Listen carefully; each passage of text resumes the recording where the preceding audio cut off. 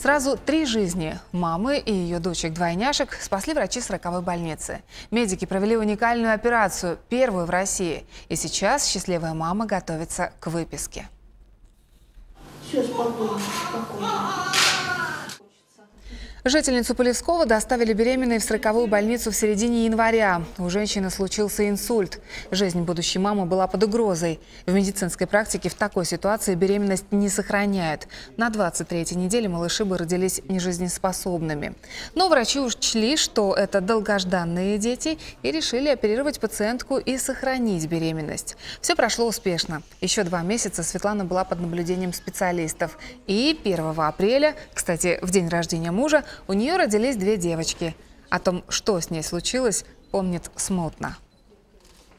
Мы сидели просто дома с мужем, смотрели телевизор, взорвалось что-то в голове, все.